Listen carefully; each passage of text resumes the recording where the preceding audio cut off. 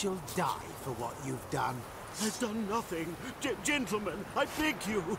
Back off! Don't dare interfere. Please, I've a wife, children. Mercy. Too late, poisoner.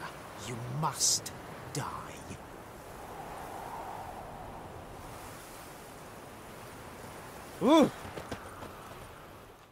What's this about?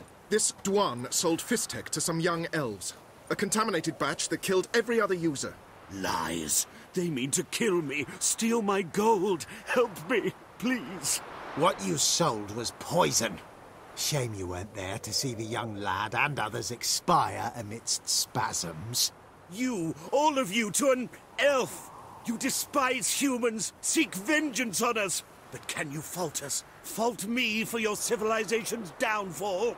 Shut your mouth, poisoner.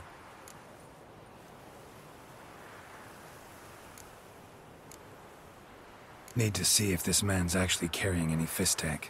We've done that already. Checked everywhere, even his boots. Nothing. The bastard sold it all, which hardly makes him innocent.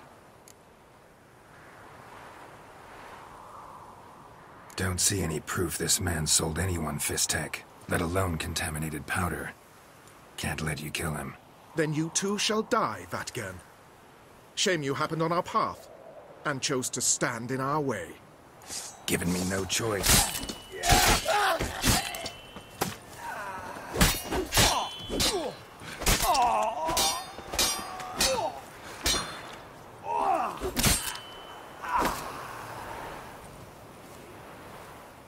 Thank you, Witcher. Bloody elves. They'd invent any excuse to rob me. Please take this. A sign of my gratitude.